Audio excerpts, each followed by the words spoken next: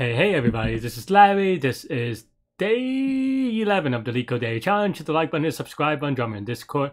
Let me know what you think about today's problem. Um, yeah, let me see if it loads first. Okay. Uh, yeah, hope you like the intro. Uh, I am still clearly just playing around with the uh, camera, uh, with my 360 camera, and and uh, hopefully, you know, maybe not the next time. I was gonna say the next time, but maybe ho- hopefully soon, uh, you'll see some uh, good footage from somewhere else. I don't know. Um, but yeah, uh, still resting. Maybe I'm maybe at this point I'm not resting. I'm just being lazy, but I think that's okay. Just taking a little bit of time off. I think tomorrow I'll I'll run I'll, I'll do a little couple miles. So today's very cold, so I don't know. Oh well, yeah, maybe tomorrow's cold too. But uh, but but you know, for my I I just been focused on doing some shopping and getting it done. Like uh, when I went on my Baltic trip uh, from a couple of months back, uh, in um, in Lithuania and all those areas, I was just too cold. Um, so I'm uh, and well, and I was too cold. Even though I had I brought layers with me, but what happened was that um, my my fleece was I guess too old, so like it didn't insulate enough. Uh, my my waterproof layer was not windproof enough. So uh, in any case, so things that I'm remedying this trip, and hopefully um, I'll have a good time. But that's it. Uh, yeah, uh, that's kind of my intro. Uh, let, us take a look at today's problem. Have 474 ones and zeros. Okay. Uh, which one is this? Given binary string strings and into integer m and n. Return the size for the largest subset of strings such that there are most m zeros and n ones in the subset. Uh, okay. I think the first, um, okay. So yeah, so basically they're saying that you're given a lot of strings. You want to choose the most components out of here subset of them such that there are fewer than m zeros and n ones.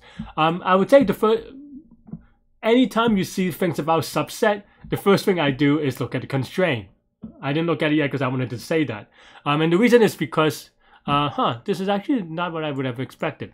And just, um, the reason is just that, um, when you see subset, uh, you you want to make sure that you're not answering an NP hard problem or something by accident. Uh, and sometimes uh, NP hard where maybe there's a, a, a space for time trade-off with respect to dynamic programming, but still NP hard or something, right? Or something similar, pseudo polynomial if you want to call it other things like that.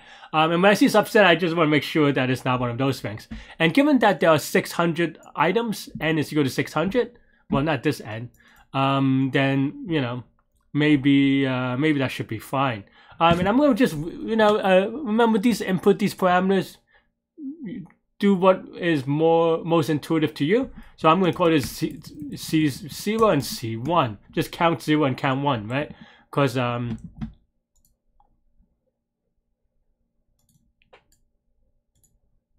Um, right? Um, because I don't know, M and N, who, who knows, who cares, right? Um, yeah. Um, uh, um, yeah. All right, well, 600 is a little bit, definitely bigger than I expected, but, you know, there are some constraints that we can play around with. And, of course, I think the first thing that the first thing that we can do is that, you know, the actual strings don't matter, right? It's just about the number of zeros and ones. So that is, of course, the first thing that we do, right?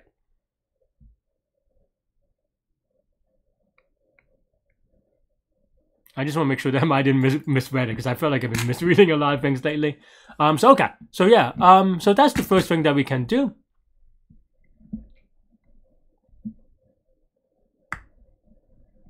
Right? I'm just thinking real quick. I, I don't. I mean, maybe I should. I mean, for medium problem, maybe I should be able to solve this faster. But I actually do not know the answer right off my head. Uh, but my first instinct might be to do something with greedy on M and then um, DP on uh, deep. You know, either greedy on. Well, I mean, without loss of generality, um, they're, they're the same, right? Like the zeros and ones, you could flip them or whatever. So what I was going to say is that maybe you could do greedy on one and then um, DP on the other or something like that, like in a in a two dimensional kind of thing. But um, but yeah. Uh, but first, hmm. I mean, yeah. So maybe, uh, maybe you know, uh, the first thing I want to do is just pause it. It might not be the final way I want to do it, but um, but we'll just see for now, right? Uh, s dot count of zero, right? So zero is equal to this, and then one is equal to uh, length of s minus z, and then just do do do do do? So something like this to parse it, but then now I have to think, right? Um,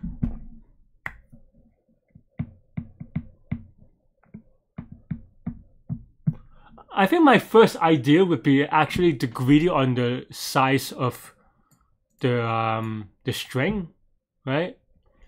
But but that's why I'm thinking a little bit because honestly, not gonna lie, greedy is one of my weakest subject because I have to prove. And in my mind, I'm already thinking of how to try to prove this. I, if not necessary to you at home, at least to myself, I'll be like, okay, I, I could be convinced, you know? Um, I feel like I could be convinced, but I, I don't know how to quite articulate it that well. Um, I think the the idea that you may do that is just because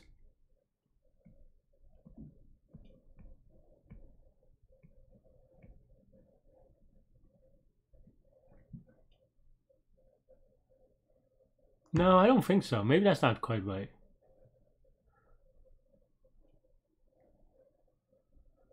No, maybe it, eh, it feels like there's a thing to it, but I, like it feels like there is some good reason about sorting it by by um by the total size, and then do the smallest first in a greedy way.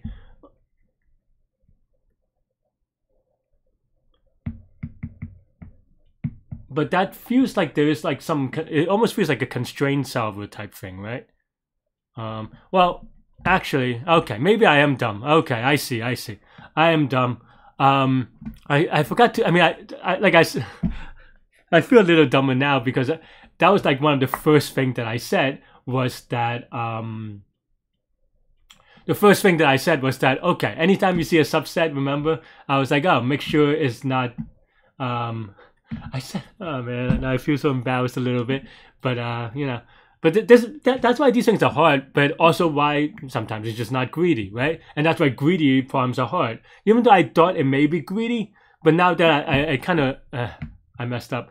And what I, what I mean to say is that the first thing I said was that, okay, you, at any time you see subset, um, it feels like, and not just subset, but subset where you have to like count you have to like sum up components in some way, right? In more than one dimension.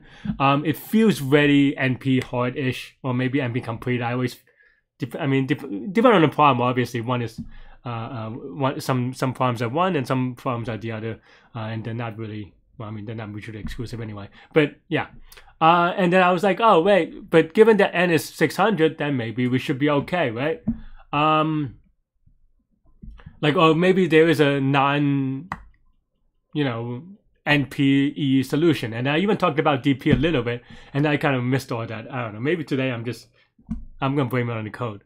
Um, but but then I, I thought about it again, and I, I remember that it was length for 100, and then that's when you can just do DP on the number of zeros and the number of ones, which means that what I said earlier is true, which is that everything is going to be uh, NP uh, or the naive way of doing it is going to be NP, but we do have a DP pseudo polynomial solution for it. Pseudo polynomial because that just depends on the length of the string, which I guess maybe doesn't make it. Uh, I mean, I guess maybe that doesn't make it pseudo polynomial because it's just quadratic then, right? Um,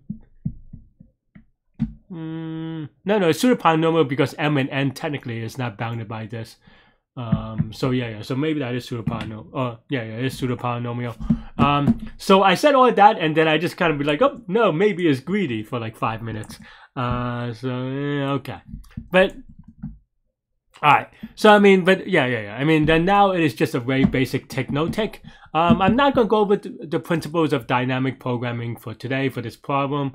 Um, yeah, I, I I have a lot of mini errands, not even errands, just like cleaning up my apartment type things I have to do. So uh, yeah, let's just let's just um, let's just stick to that for a little bit. Um, but yeah, um,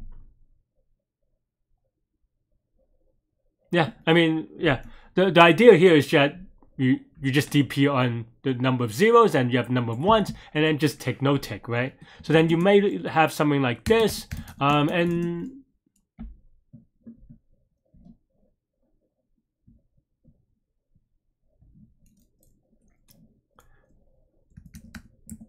and you know, and this is a little bit. Uh, uh, we'll see what happens. I mean, the way I, I knew that the way that I write this, right, it's going to be this is 600, this is 100, this is 100, which means that this is going to be 6 million if you just look at the number of states, right? Um, there's 6 million states.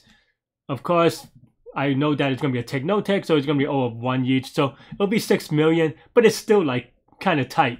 Uh, I think ideally you would want to convert this to bottoms up, but for now, I just feel like it's a little bit cleaner, right?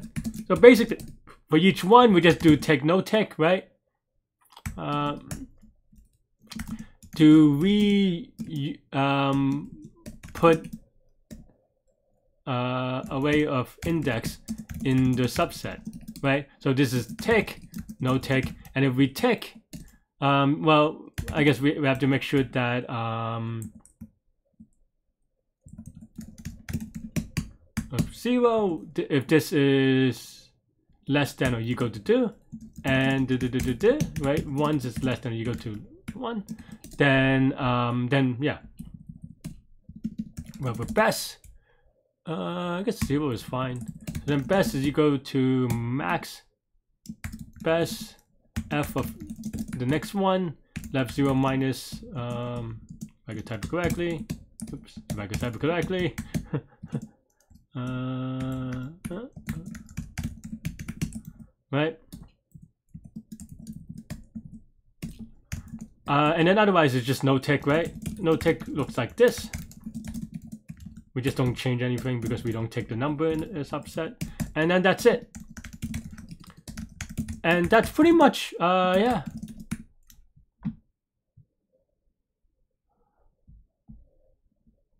Yeah.